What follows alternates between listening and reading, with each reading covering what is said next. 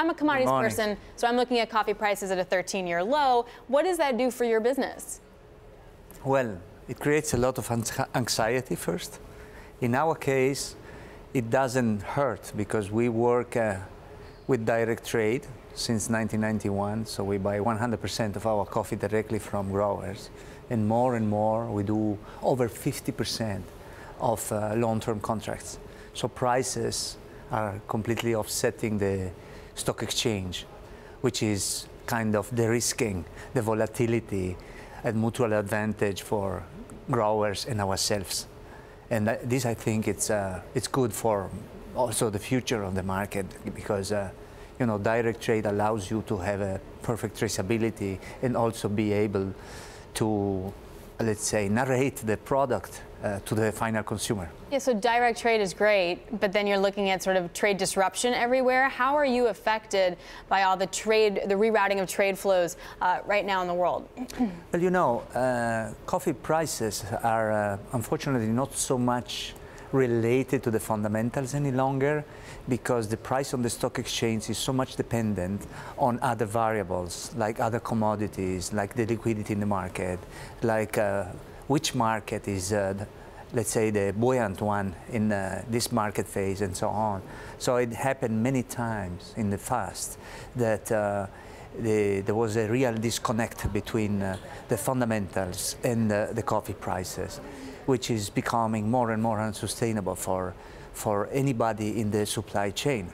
Uh, and this is, uh, this is why everybody is seeking for new strategies in order first to increase value added of coffee, better quality, uh, differentiation upon uh, also origins uh, in uh, cultivars so that the consumer you can command a higher premium price with consumer, like in the wine industry, as an example, and so on. Well, to that point, as you look at growth for Illy, for your company, yes. is it from expansion into new areas? Is it market share? Or is it actually in essentially upselling? I mean, we, we see all sorts of things like nitro brew and things new, yes. new beverages, cold beverages coming in. Is that part of your growth strategy? Absolutely. Uh, so Illy is the most global coffee brand, so we, we can hardly open new markets.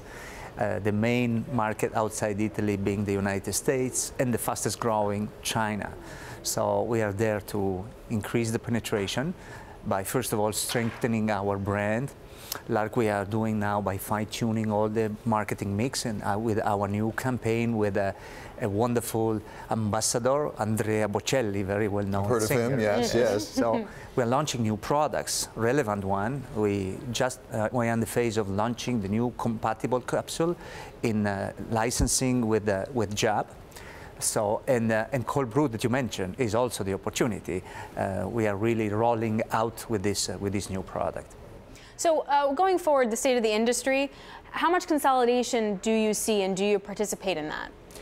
Well, uh, you mean in the growing part or either. in, the, in Actually, both? no, uh, legit, either. There is a general consolidation because as a matter of fact, even though there are nearly 70 countries producing coffee, the two first do over 50% now. And this is a structural, I would say, uh, factor which is also, in a sense, a problem uh, for the market uh, due to the competitiveness, which is really shrinking to only few uh, countries, and the chiefs one are Brazil and, and, and, and Vietnam. So uh, on the other side, there is also a, a, big consolidation in the, in the roasters industry. Uh, since uh, I think the last five years, nearly 40 US billion have been invested in order to consolidate the most important brands in the world. Mm -hmm. So now you have the two top guys, the two groups uh, which are nearly 50% of the coffee volumes, uh, which is which is also substantial. For us, it's okay because we have a strategy which allows us to be independent, not only because of our strategy of uh, quality leader, but also the business model. But uh, there is a battle on the on, uh, in the market field. So quickly, as you look for the rest of the year, what's the biggest worry that you have? I don't have, uh, let's say my main concern mm -hmm. uh, is beyond coffee only, but coffee is also part, which is climate change.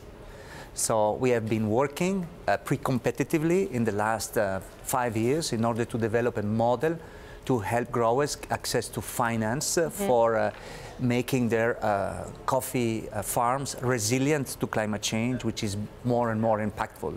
But there is also a significant, uh, let's say, work to do in the mitigation because we always have to remember that we need to be uh, carbon negative in the next 50 years in order to save the planet, literally.